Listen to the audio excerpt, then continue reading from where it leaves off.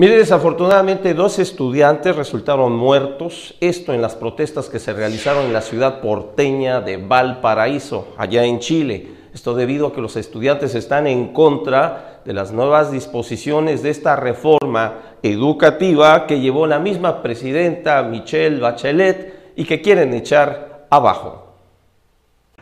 Dos estudiantes murieron por heridas de bala después de que un hombre abriera fuego contra un grupo de manifestantes que trataban de pintar y colgar carteles en su casa. Según testigos, las víctimas tenían entre 18 y 24 años y participaban en una marcha contra la reforma educativa de Michelle Bachelet convocada este jueves en todo el país.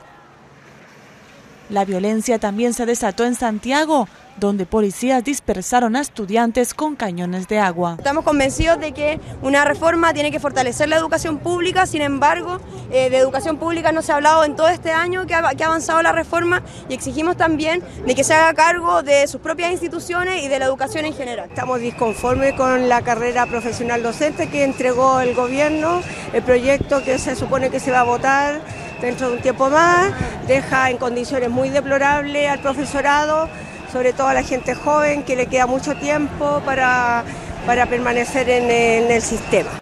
El año pasado, Bachelet ganó las elecciones con la promesa de una ambiciosa reforma educativa que incluiría educación gratuita para el 70% de la población más pobre en 2016. Pero los estudiantes se quejan de que han sido dejados de lado en el proceso. Las protestas se producen además en medio de un escándalo anticorrupción que involucra al mismísimo hijo de la presidenta.